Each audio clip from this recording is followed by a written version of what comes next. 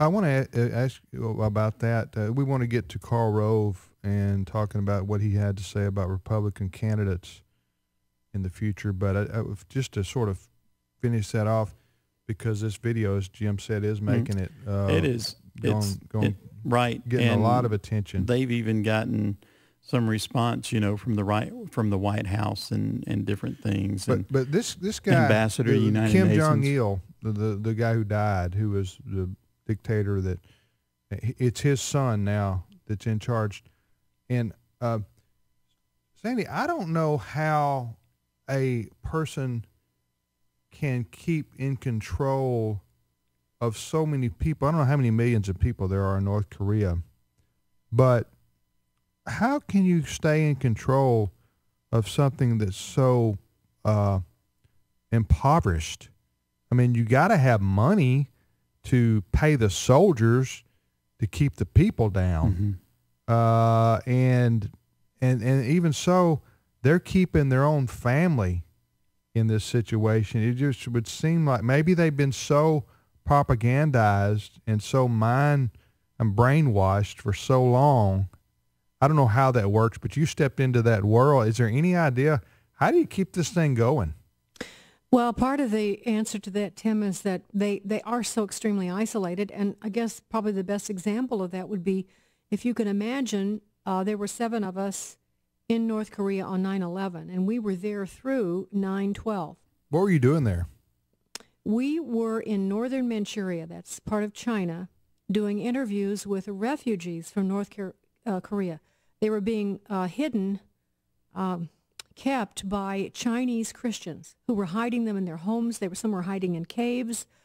Uh, it was an amazing experience. I mean, I I heard some of the most incredible stories. I was in the home of a woman who who had taken in four boys who had swum across the Tumen River, which separated northern Manchuria from China, to get rice because they were starving.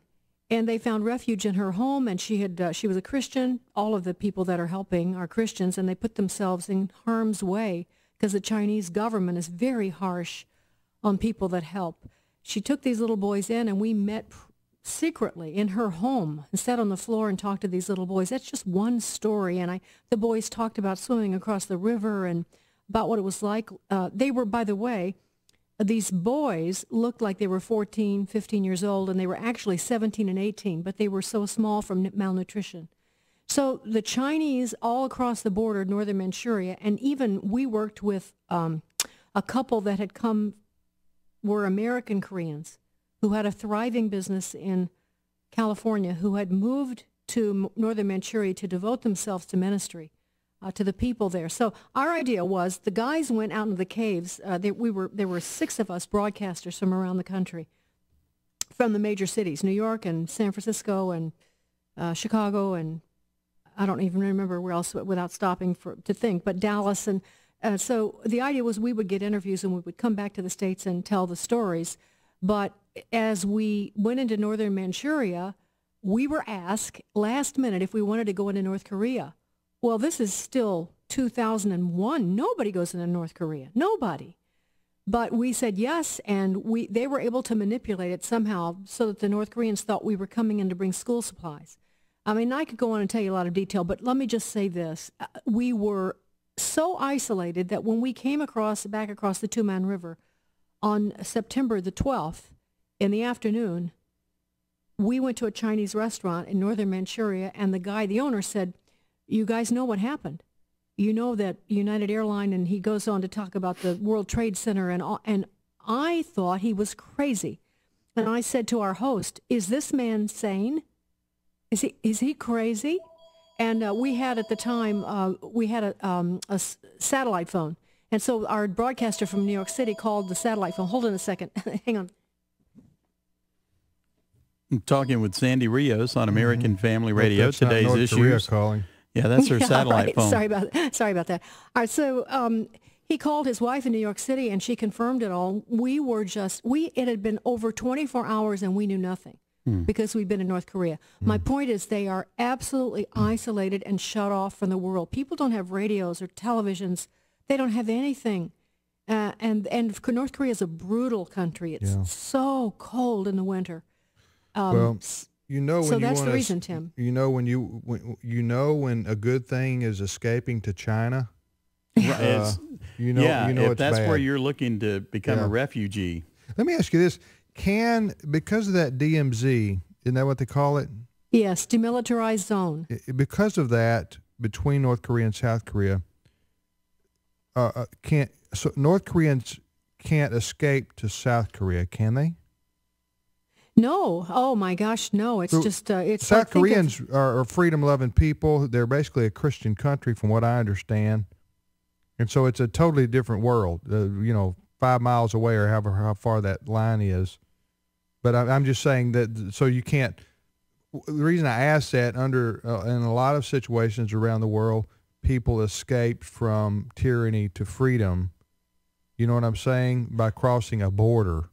But well, there have been case- hand, there have been handfuls. I mean, we have refugees Right. here in this country that have escaped. Uh, you may recall that some in the last, well, I, more of this was in the news ten years ago. Because I, actually ended up being the chairman of the North Korea Freedom Coalition in Washington D.C. And at the time, uh, some North Koreans were like uh, escaping into embassies and asking for asylum. I mean, it was a very uh, but hardly any. I mean, there's just a handful of people that have been able to get out. And then, of course, like the ones that have swum across the Tumen River. But once they get across the river and they come into China, China just sends them back. Yeah. I mean, and Yeah, China punishes. sends them back to die, probably. You know. the, oh, my goodness, yes. You know, it just it, it shows show you how true the Bible is. Satan is real, evil is real. I mean, uh, most of us don't see it every day, thank God. But you travel like Sandy did to to North Right. Korea, you see the effects of evil and satanic influences, and because what kind of oth- otherwise it's inexplicable in the same way that uh, you know uh, Hitler killed the Jews and Stalin murdered his own people and uh, you know those kinds of uh, things. You, you can't explain how could somebody, a group of people, treat their own people who look just like them. Yeah. They're their own bloodline and treat them like w- w- treat them like I don't know what treat them like worse than animals. You know what I'm You know, saying?